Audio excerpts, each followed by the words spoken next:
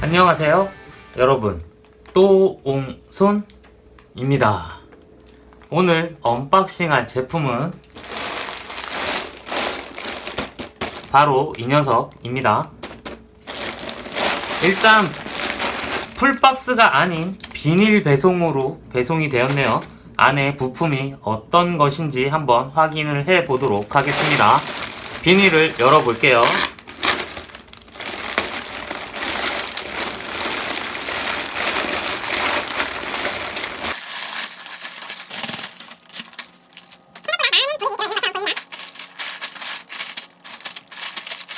일단 불익을 정리하기가 조금 힘든 그러한 상태로 되어 있네요. 그리고 불익의 상태를 일단 한번 확인해 보도록 할게요. 일단 테크닉의 제품보다는 일반 레고 brick이 많이 들어있다는 걸 보실 수 있을 거예요. 그리고 여기 보시면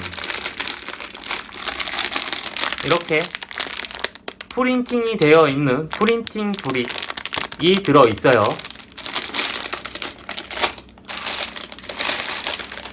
이 제품은 테크닉 테크닉 제품과 일반 레고 brick을 혼용해서 사용하는 그러한 제품으로 보여지고요. 이렇게 테크닉에 사용되는 핀, 고정 핀들이 들어 있습니다.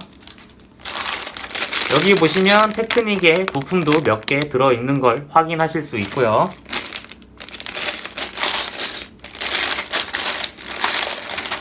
이 제품이 일단 어떤 건지 한번 확인을 먼저 해 볼게요.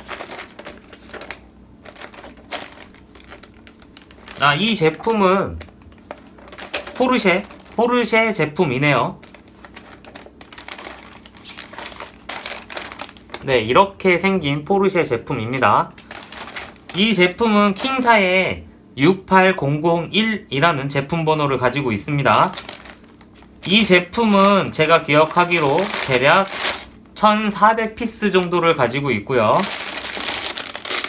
여기 보시면 프린팅 브릭이 몇 개 더 들어있네요. 이런 식으로. 그리고 봉투의 겉면을 보시면 이렇게 숫자가 쓰여져 있어요. 이 번호가 조립 순서를 의미하는지는 잘 모르겠지만 조립이 아 조립을 시작하면서 확인을 해야 될 부분인 것 같습니다.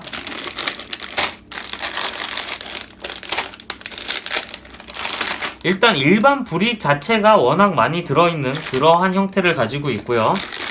타이어 타이어가 이렇게 4개 들어있습니다. 타이어 사이즈는 제 한 손에 약간 모자른 만큼의 크기를 가지고 있네요.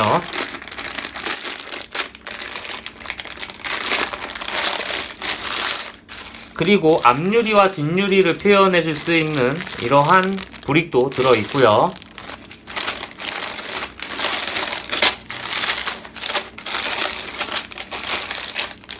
일단 이렇게 한 칸짜리 작은 브릭들이 굉장히 많이 들어있는 것으로 봐서 조립하는 시간이 조금 오래 걸릴 것으로 예상이 됩니다.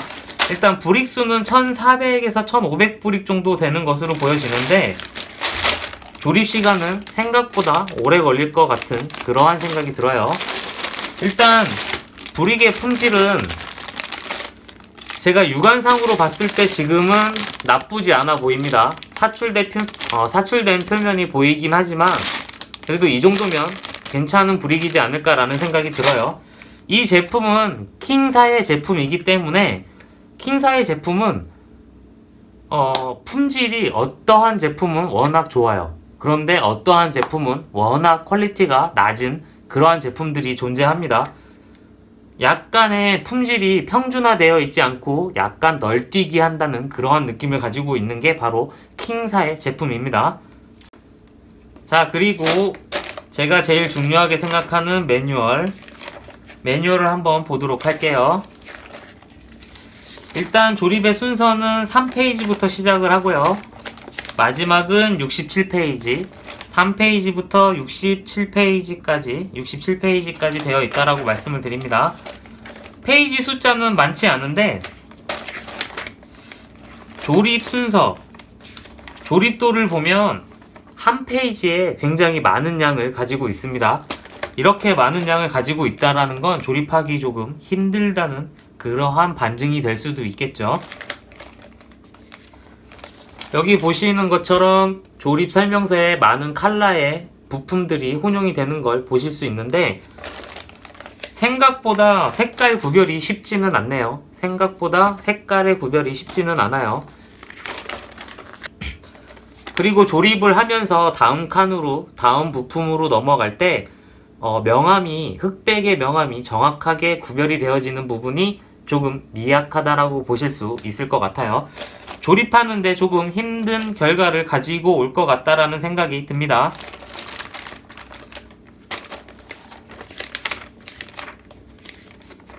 일단 지시 방향 이렇게 지시 방향은 들어 있어요. 지시 방향은 들어 있지만 한 페이지에 조립 설명이 워낙 많이 들어 있습니다. 그렇기 때문에 복잡해 아, 복잡하고 눈으로 하나하나 확인하는 게 조금 어려울 수도 있다라는 생각이 들어요.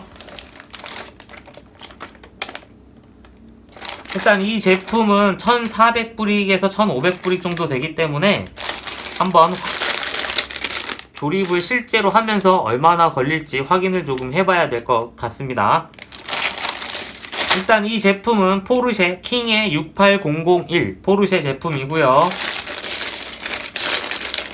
프린팅 브릭이 들어있다라는 거 그리고 바퀴 바퀴가 들어있는데 어, 휠이 8개가 들어있네요. 바퀴는 4개인데 휠은 8가지, 8개가 들어있어요. 어, 뭐, 취향에 맞춰서 사용할 수 있는 그러한 휠이 들어있는 것 같습니다. 일단 이 제품 조립을 하면서 여기 있는 번호가 조립 설명 번호인지 아닌지도 확인을 해 드릴게요. 마지막으로 구독과 좋아요 한 번씩 꾹꾹 부탁드립니다.